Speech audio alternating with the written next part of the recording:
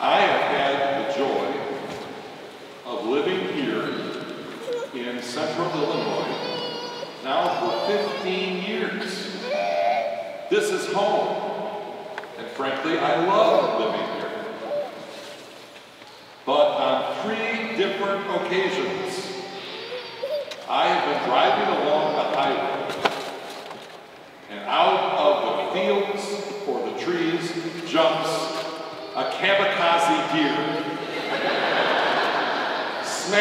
right into my car. And I want to tell you, your bishop shouts when that happens.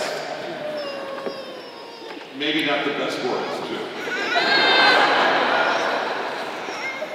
But there are happier occasions that make us shout. Uh, the women's Notre Dame basketball team today was playing the UConn Huskies.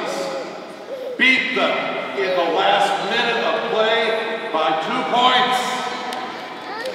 Go Irish! And I can assure you, among Notre Dame fans, there was a lot of shouting and stomping and screaming. At a much more important level, I wonder in your families and your lives if you've ever been separated for a while from someone you love. Someone perhaps right before you get married, but circumstances have kept you apart for a while. Perhaps a son or a daughter in the military service, overseas.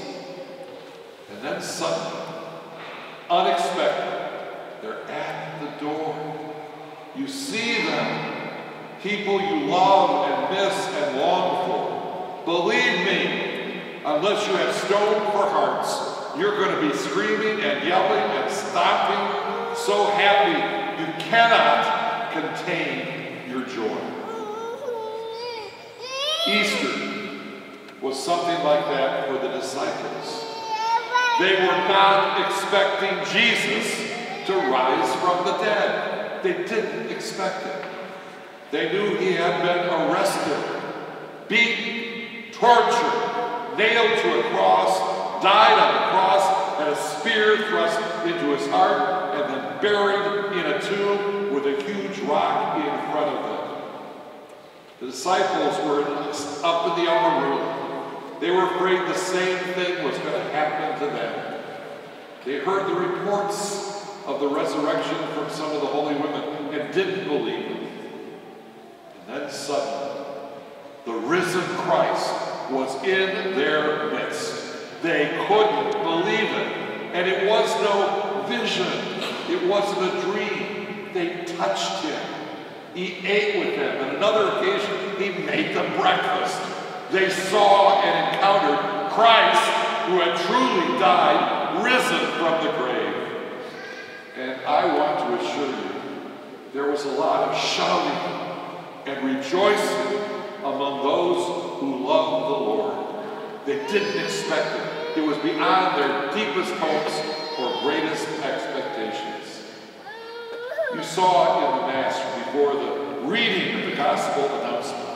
You heard our wonderful cantors almost treasure every syllable of the phrase Alleluia. We have fasted from that phrase held it in abeyance until this night. Hallelujah, you've heard all your lives. It means praise God in Hebrew. And actually, it uses a shortened form of God's most sacred name, Yahweh. Alleluia. It announces that every promise God has ever made to his people, to us, his church, has happened. We rejoice in a special way tonight because among us are those called to the Easter sacraments, those who will be baptized, those who will be confirmed, those who for the first time will receive Holy Communion. The Lord's surprising, amazing victory is theirs. And not just theirs, it's all of ours.